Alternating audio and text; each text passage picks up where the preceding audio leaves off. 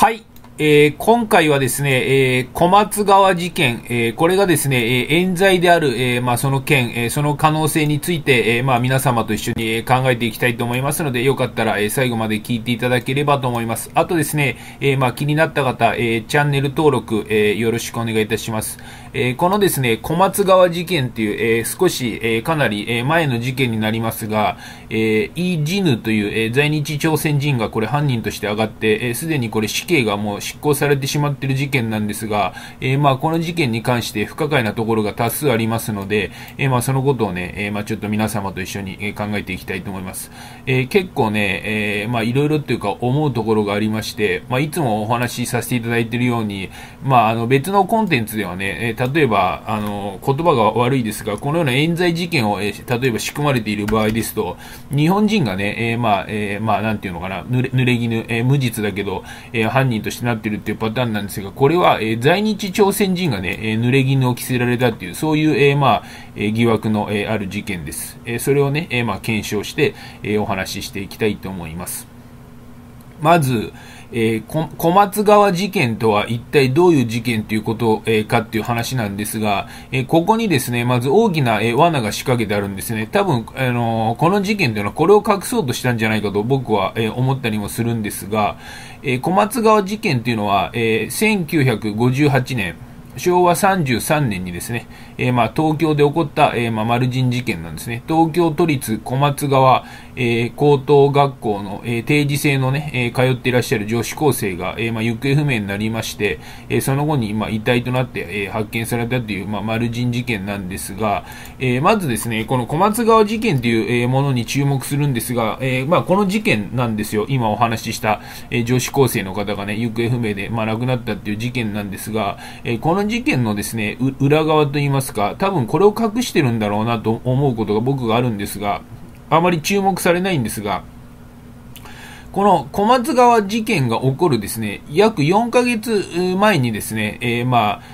田中節子っていう方、女性がですね、この方が丸されてるんですよ。だからこの通称っていうか、まあ名前がある、この小松川事件っていうのは、この小松川事件と、その前に田中節子っていう、方が、女性の方が、まあ合計2人、これが丸されたという事件、ということなんですよ。っていうか、まあそういう設定をしてるんですよ。設定というか、そういったことを、えー、まあ様々な形で隠してるんですが、このですね、今回お伝えさせていただく犯人であるイ・ジヌっていう、えー、まあ、この人男子高校生ですが、これっていうのは何の罪で問われたのかっていうと、この二人を、えー、丸した罪で問われてるんですよね。しかし、えー、問題がありまして、この、えー、田中節子っていう、え、方が丸されたことには全く触れてないんですね。多分この事件これを隠してるんだろうなと。うん、まあ僕はそう思いますっていうことで。で、当然ですが、えー、真面目に考えていくんですが、小松川事件とね、えー、まあ、言って、女子高生が丸されてる事件で、え犯人がこのイー・ジヌっていう在日朝鮮人ってことになってますが、当然ですが、え犯人、えとなってるっていう設定なんですが、犯行動機が、えありますね。えまあ、その設定っていうところが、えー、まあ、大事っていうか、そういうふうにあの仕組んでる可能性が非常に高いんで、え、この、えー、イ・ジヌっていう在日朝鮮人はですね、え、高校生だったと。で、この事件が起こった当時が、まあ、高校生だったんですが、え、犯行動機として上がっている、え、内容がですね、え、このイ・ジヌの、え、お父さん、え、この人がですね、え、まあ、働いたお金を、え、お酒に全部使ってしまって、まあ、要するに、まあ、えー、ダメな父親っていうこと。で、お母さん、え、これですね、お母さんが、え、耳が聞こえなかったっていうことで、え、まあ、ちょっと生活が厳しかったお父さんとお母さんだったと。で、この在日朝鮮人の家族は、えー、生活に困窮していたと。で、さらにまあ、かわいそうだなと、これは思う話ではありますが、えー、このイージヌっていう人がですね、会社に就職しようとしても、えー、面接で落ちてしまうと、えなかなか、え就職ができないと。うん、これっていうのは在日朝鮮人のね、えまあ、生活、え苦による、え差別に悩んだ結果の犯行動機から引き起こした事件である、えというような、え犯行動機、えとされているんですが、えこの犯行動機だけを聞けば、まあそうなのかなとかって思うんですが、あの、リスナー様にお話したように、ね、何がおかしいのかというと、えー、この小松川事件で女子高生を丸したっていうことになってますが、その前にね、この田中節子っていう方が丸されてるんですが、この犯人であるイージヌはこの2件の、えー、犯人として問われてるんですが、この田中節子っていう、えー、人のですね、事件に全く触れてませんね。動機にも触れていなければ、おそらく、え、昔の情報もあるんですが、すべてをこれ隠した、え、可能性があるんで、この僕の考えなんですが、え、田中節子っていう、えー、方を丸した事件を隠そうとして、えー、このイージヌっていう、えー、高校生を犯人に、えー、まあ、したと、えー、まあ、でっち上げたっていう感じですね。えー、在日朝鮮人ですが、でっち上げられたっていう、そういった、えー、可能性を感じる事件です。えー、このようなことを言うには当然理由があります。あの、でたらめでね、えー、思いつき言ってるわけではないんで、あの、ちゃんと調べて、あ、これはおかしいなと、そういうことを思いました。このですね、えー、まあ、小松川事件の犯人とされているイージヌという在日朝鮮人ですが、冤罪、あるいは無実、その可能性が極めて高いですね。あの、リスナー様にお話したように、え通常のこのパターンできますと、まあ、いつもね、えこれっていうのはお話しさせてる、え内容なんですが、日本人がね、え、まあ、冤罪、え無実に、え引っかかるんですよ。このパターンは。え大概仕組まれた事件っていうのは、え日本人が、え冤罪無実に引っかかります。それはなんでかっていうと、日本と、え、アメリカの関係ががありまして、いつもお話しさせていただいているように、日本とアメリカの関係っていうのは、え、アメリカはですね、えー、まあ、戦争に勝って、日本が戦争に負けて、え日本はですね、アメリカ、えアメリカ CIA の完全に支配下に入ってるんで、え CIA が裏でいろんなことを決めています。そしてあからさまなる支配、えっていうのは日本人がアメリカ CIA に反感を買うんで、アメリカと CIA の間に在日という、えー、まあ、日本人と肌の色、顔の、えー、似ている人種をあえて挟んで、えー、そういったことから支配を分からなくようにしてな分からないようにしてます。分割、え統治、間接統治といって。そしてですね、そこの、このパターンで来る被害っていうのは、え、一番後ろに CIA がいて、在日がいて、日本人がいるという順番で、日本人が、え、無実、あの冤罪になるパターンが多いんですが、今回に限っては、えー、この在日のね、えー、人間が、えー、なぜか、えなってますね。えこれに関しては、えまあ、どういった、えことかっていうのが分かりません。あの、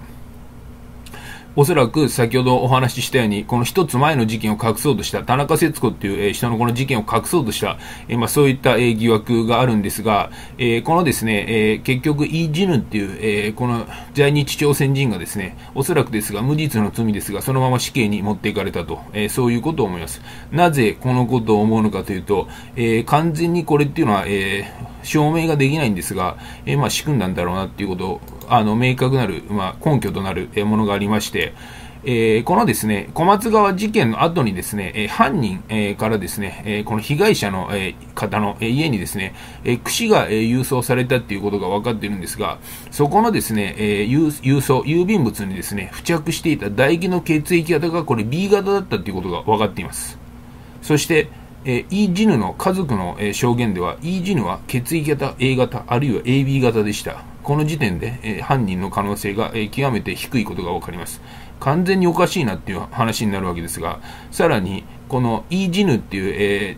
人間はですね、え、犯人とされている人間は、被害者である女子高生を、えー、傲慢したっていうこの設定になってますが、えー、被害者のですね、えー、女子高生、え抵抗した後もなければ、えー、傲慢された後もないと、うん。このように、この事件っていうのは物的証拠がないんですよね。で、あの、いつものこの冤罪のパターンで行くんですが、え犯人、えあるいはですね、えまあ、この、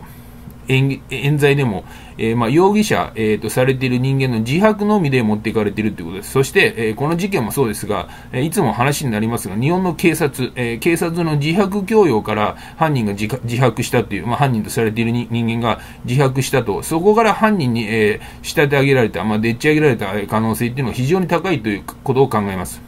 このイージヌっていう、え人物、犯人ということになってますが、えー、犯人であるにもかかわらず、えー、指紋も照合してないということです。えー、このようなおかしいことが通ること自体が、え、やらせ裁判、え、裁判を仕組んだ、え、可能性っていうのがありますので、物的証拠がないまま、え、本人の自白のまま、え、自白も警察の自白供与の疑いが高いというまま、え、そのままですね、え、事件を幕引きして、えー、まあ、裁判、えー、判決、そちらの方に持っていきました。そしてですね、えー、またこういったところに非常におかしいなという不可解点を、不可解さを感じるんですが、えこの事件ですね、え小松川事件というのは死刑が、えとても早いということを言われてるんですが、これっていうのはおそらくイージヌっていうこの人間のね、口封じに死刑を急いだ可能性が極めて高い、えそういった、え可能性が考えられます。日本っていうのは、え死刑が、え求刑されてもすぐ執行には移らないシステムの問題でね、うん。で、まあ、在日だからっていう話かもしれないですけど、在日だってもそれってのは別ですし、なんかわからないですが、在日だったら裏で違ったものが動くかもしれないんで、もうちょっと、え話がね、えー、まあ、なんていうのかな、えー、ちょっと違う風になる可能性もあるんですが、なんと、この事件ね、小松川事件、死刑が求刑されてから約1年後に死刑を執行されているわけですね。イジヌは物的証拠、物証がないままの状態で、えー、死刑が、えー、まあ、求刑されたと。なぜこのように死刑を急ぐんでしょうか。考えられる可能性っていうのは、イージヌを、え、犯人として、え、事件を幕引いたっていうことです。おそらく口止めの可能性です。今回の事件というのは、これ在日朝鮮人が犯人として上がってますが、この在日朝鮮人は、え、無実、無罪、冤罪の可能性が極めて高いですね。え、で、この調べた感じを思ったんですが、え、小松川事件という、え名前なんですが、名前なんですが、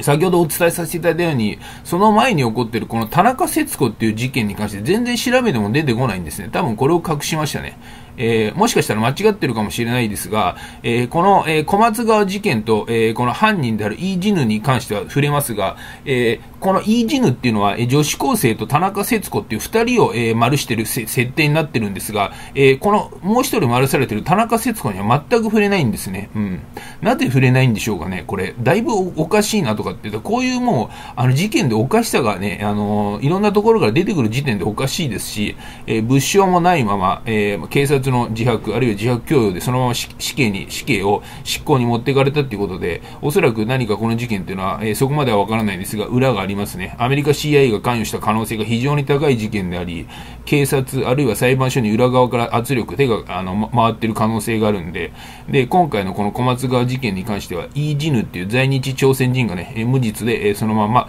あの物的証拠もないまま、え死刑を、えまあ、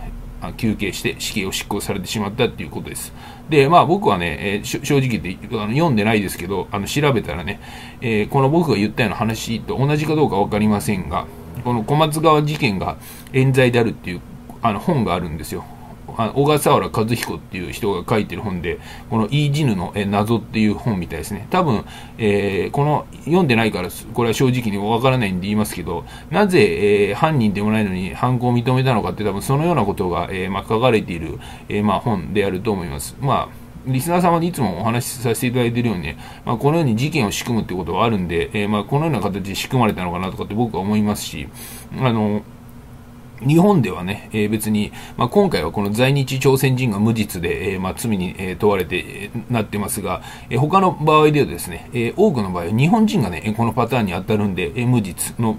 でありながら犯人として、えー、まあ、えー、まあ、犯罪者として、まあ、でっち上げられると。で、そのまま、あの、例えば、あの、刑務所に入ったりとか、えー、死刑を求刑されたりとか、えー、そういったことが、えー、あの、ケースとして考えられるっていうね、まあ、日本において、あの、非常に良くないね、えー、この事件の一つだと思うんで、えー、この事件、えー、まあ、皆様と一緒に考えていただくのに、えまあ、え価値、あの、値するのではないかと思って、ちょっと取り上げてみました。もしね、まあ、例えばこの、この事件に関してはですが、あの、本が出てるんで、まあ、僕はそんな本も読んでないし、えそれうまく説明できなかったんで申し訳ないんですが、この小笠原和彦っていう人のね、えこの本ね、えリリー・ジヌの謎とかっていう本が出てるんで、えまあ、関心がある方は、え読んでいただければと思います。まあ、僕の、えー、のコンテンツを聞いていただいてね、え、まあ、おかしいなとかっておあの思うところが、え、多いと思いますので、えあんまりね、この事件というのも、え注目、えされていない事件なのかもしれないんですが、えまあ、ちょっと考える、え何かの、えきっかけになっていただければと思いまして、今回お伝えさせていただきました。